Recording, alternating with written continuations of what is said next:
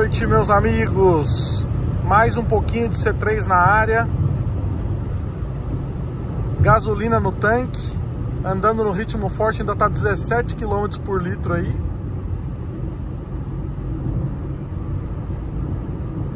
Tivemos o vídeo do juízo final. Eu realmente gostei muito do C3. Estou gostando muito dele ainda, de trafegar com ele aí pelas estradas do Brasil. Muito gostosinho. Terceira. Cortou a 113. Quarta. A quarta dele só corta mais 160.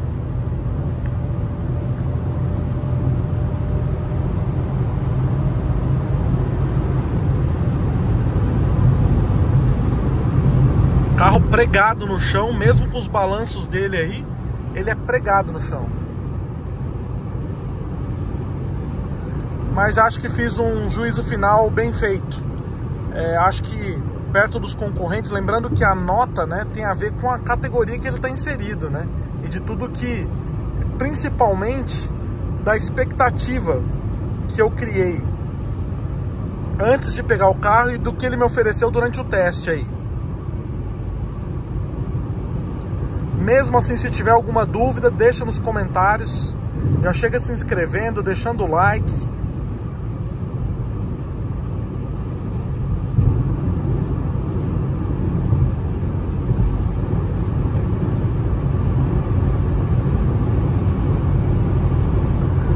Intensa.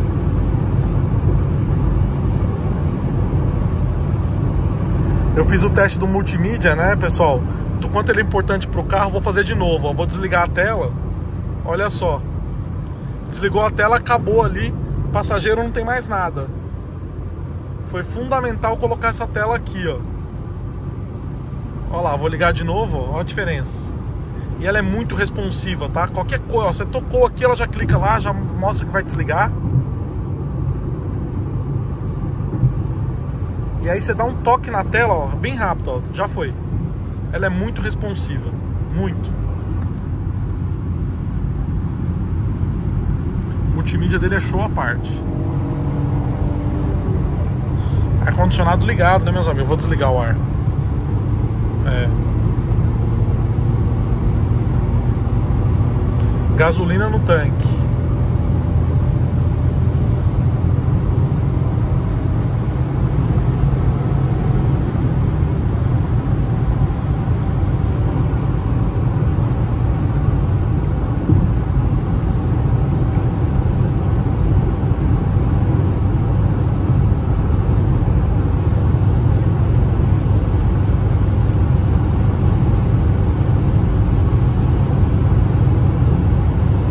Gostoso demais. E o estradeirinho, viu? É o tipo do carro estradeiro. Você vai andar com ele aqui, você vai gostar pra caramba e vai pegar bastante estrada com ele mesmo sendo ponto zero.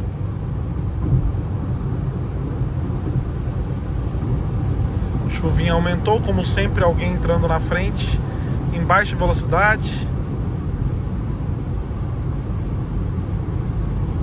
Os freios não pregam sustos e tudo funciona a contento aqui. Cara com farol alto do Focus.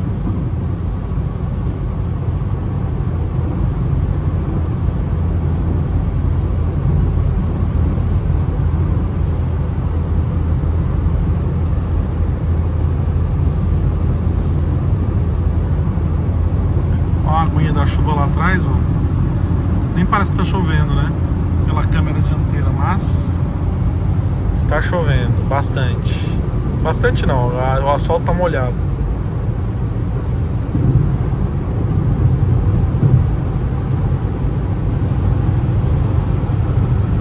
Mesmo na chuva o farol ilumina bem.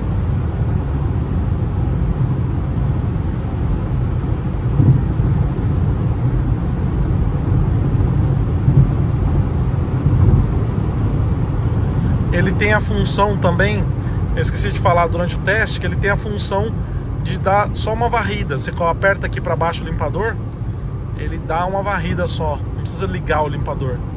Clicar, né, para ligar.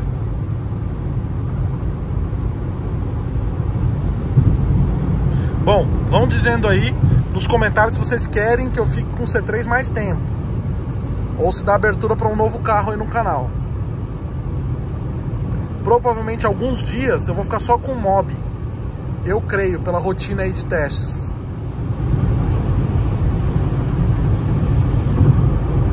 Por que, que a Stellantis não coloca o barulhinho da seta do, do Compass do mesmo jeito que é do C3, do Renegade, né? Ó. Só um barulhinho de leve, não aquele barulho que parece um negócio quebrado do Compass, né? É muito chato aquilo.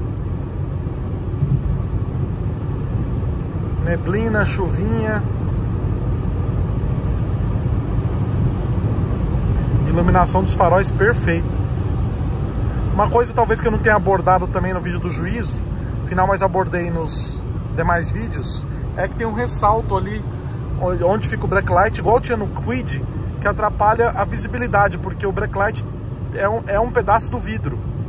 Corta ali um pedaço do vidro ali atrás, ó, tá vendo? Então é quando o carro tá longe, é que é, nesse carro, nesse carro o vidro é um pouco maior. Então quando o carro tá longe, pode atrapalhar ali, você ter noção da aproximação do carro, porque ele só vai aparecer quando tiver quase em cima, né? Da hora. No Quid era pior porque o vidro era muito pequeno.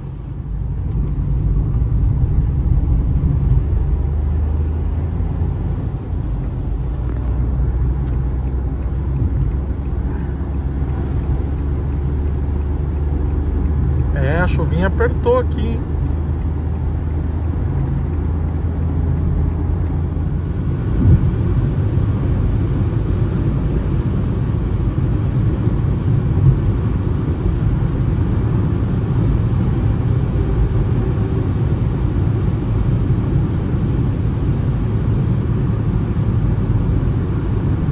O Ninho tá fazendo loucura ali na chuva.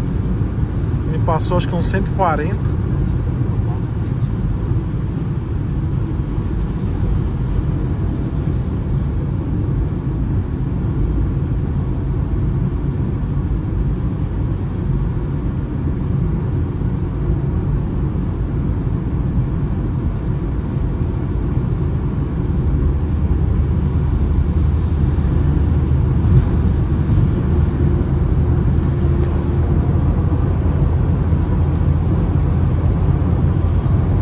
Limpador traseiro e dianteiro ligados funcionam a contento, ar condicionado ligado também.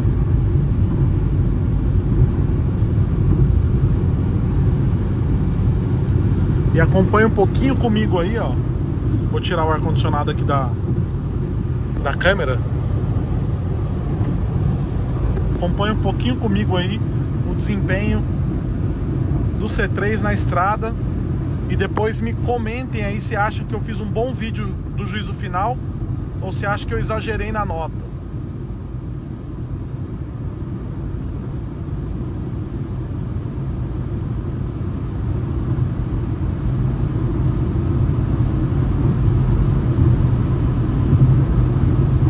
O carro tá congelado aqui dentro.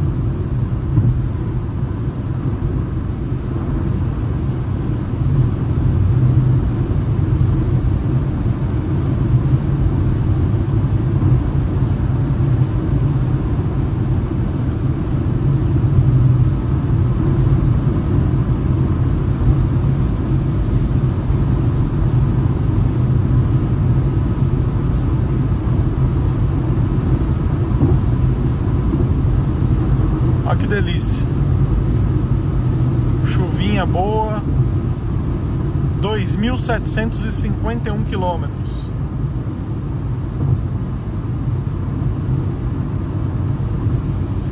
Desempenho com gasolina é bem modesto.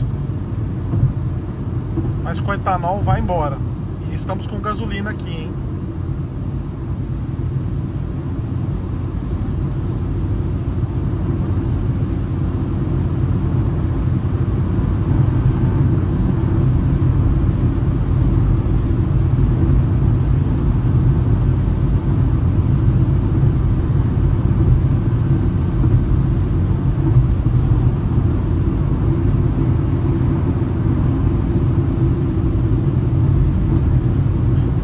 Ar-condicionado ligado. Corsinha comendo faixa ali, ó. Tem que ficar atento. É um Clio, na verdade.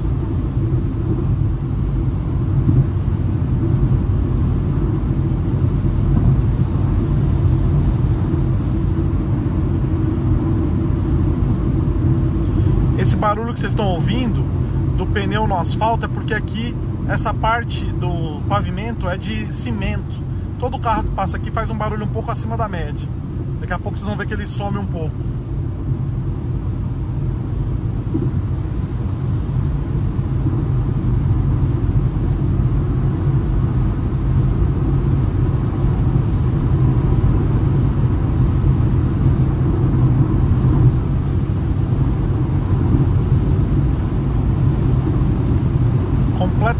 Pregado no chão.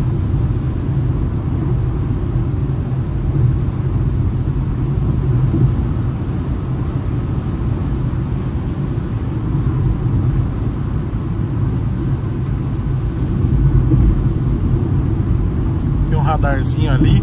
Nós vamos pegar a rodovia dos imigrantes.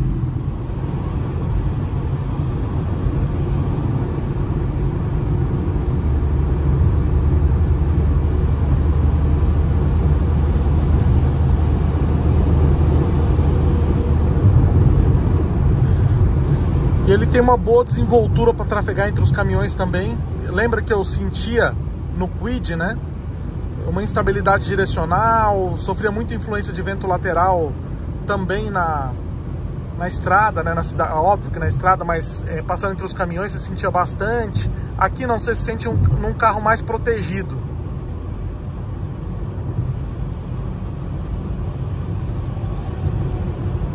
Você vê que uma curva, ó, de fechada.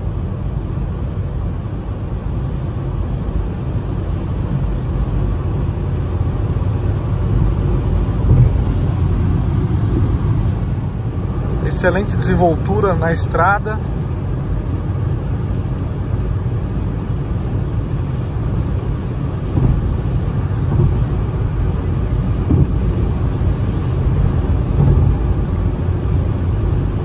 Tem que entrar ali à direita, só só dei uma saída aqui para que o caminhão ia ultrapassar e ele fez isso mesmo.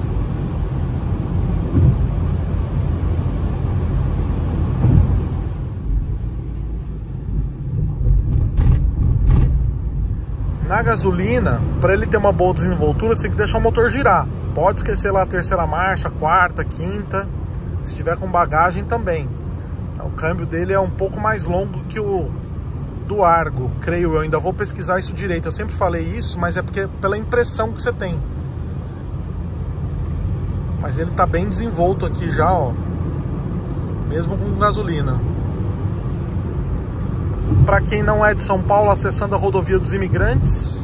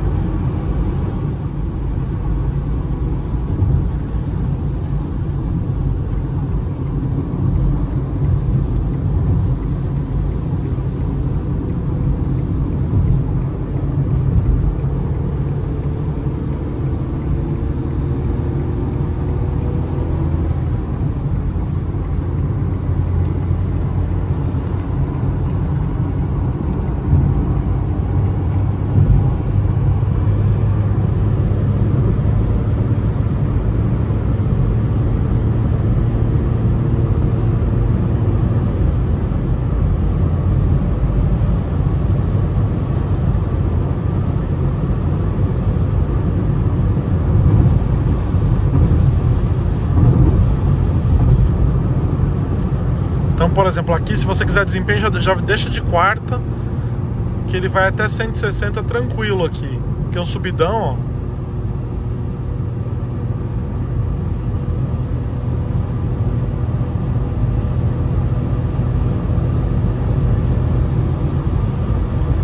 Radarzinho.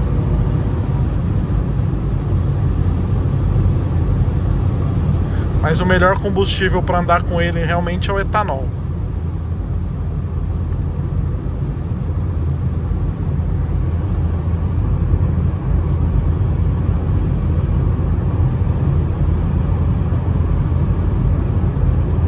Também, né?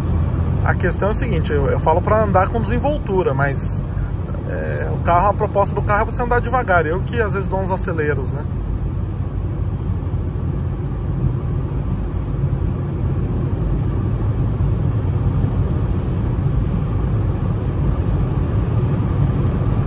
Chuvinha apertou.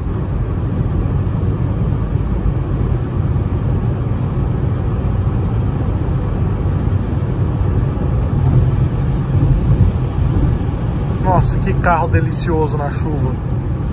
Delicioso. Vou mostrar para vocês aqui ó, a resolução mais baixa da câmera. Ó, agora dá para entender um pouquinho da intensidade da chuva.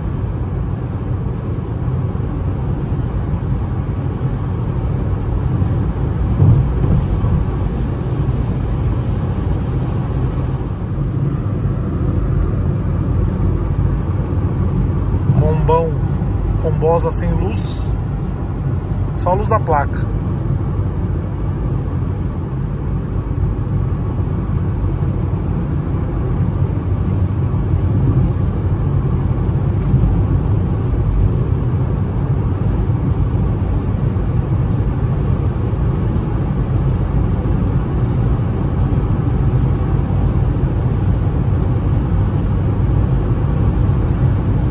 Vai acelerando devagarzinho assim, ele vai pegando velocidade rápida.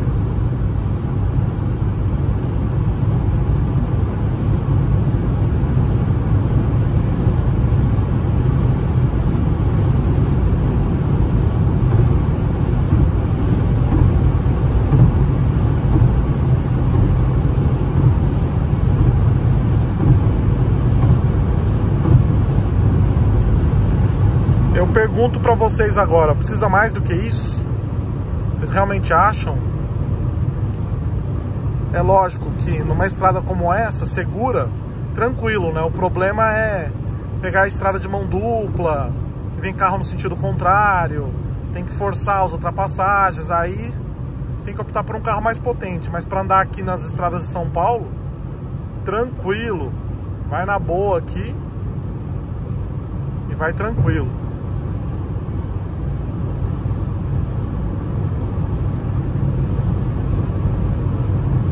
Melhor de tudo é que deu uma lavada no carro aí que tava precisando muito, né? Desde a estrada de barro lá que a gente não tinha lavado ele ainda. E é bom na estrada que o barulho da multimídia some, né? Ó. Então, vai tranquilo aqui. Atrapalha muito a visão daquele outdoor. Mas aqui já é diadema. Em São Paulo é proibido ter outdoor assim. Tiozão, tô aqui, tio.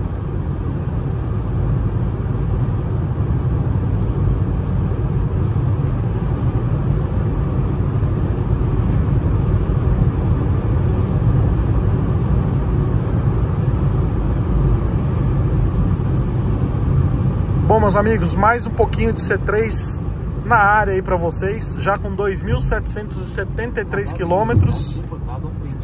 Muito obrigado para você que nos acompanha. Se inscreve, deixa o like, compartilha esse vídeo. Até nosso próximo capítulo e nossas próximas histórias. Fui!